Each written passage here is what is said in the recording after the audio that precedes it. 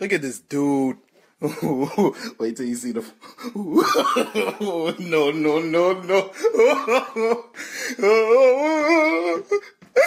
Hello folks, welcome back to another wonderful video and today we will be talking about this lil midget. what the hell? If you do go on to enjoying this video be sure to absolutely lick that like and subscribe button.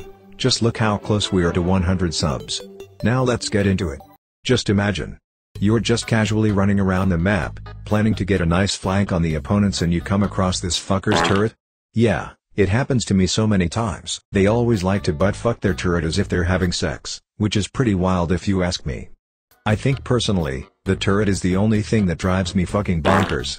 His gun is kinda silly and his lava cum puddle is horrendous but that turret. Yeah I know that can go fuck itself. Right let's now go ask Ophelia for her opinions.